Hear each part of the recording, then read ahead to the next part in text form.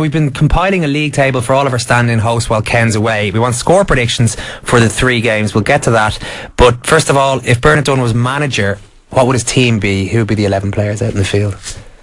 Oh, he's, you know, and you look at the 11 that he put out, it's his best 11. Mm. Um, what I, probably the only, the only one I'd change would probably be Doyle up front, you know. I think I'd give, um, doing that off uh, Stoke and Walters. You, you know, Jon Walters, you like? Yeah, you know, I, I like him. You know, I, I think he's a fantastic player. I think he's he does everything Kevin does, but he's got pace and, and he's scored in goals. You know, you look at the Wolves, I suppose quartet that are involved with the team. You know, um, it's going poorly. Yeah, it really is. It's terrible. Yeah. You know, so um, how you can justify leaving Mr. McClean now, um, who's one of the most consistent performers, you know, in the Premiership at the moment. Um, would he be in your team, or just no, not, not in the starting eleven? You, would take him over. Yeah, you know, I, I definitely. You, you, still have Duff and McGeady on the wings. You have yeah. to, you know. Um, Gibbons in goal. You've um, O'Shea, Dunne, who's hopefully going to be fit. Yeah. Um, you've Kelly. Um, I'd play St Ledger. Um, middle of the park, you've got Whelan and uh, Whelan Andrews there. Andrew Sanchez as well, and obviously Mr. Keane up front, and then who you put with Keane you know, it's, it's the thing. Yeah. Um, how many strikers is he going to bring?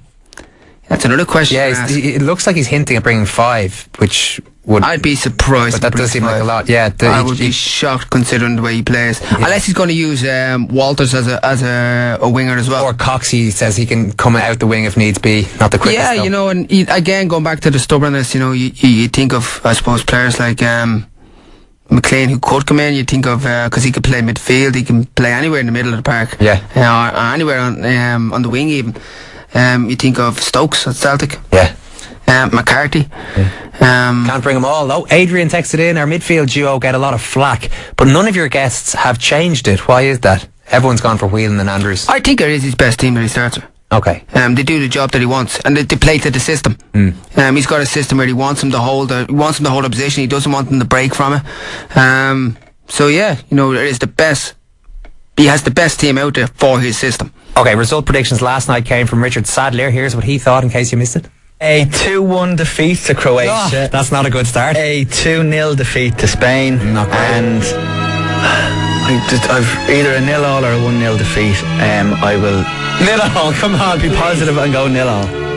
So Richard Sadlier's positivity nets us one point out of the three games there. We'll see if Bernard thinks that we might do a little bit better than that. Croatia, first of all.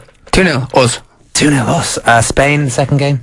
2 two 0 beaten. 2 0 beaten, which leaves us on three points going into the final game against Italy.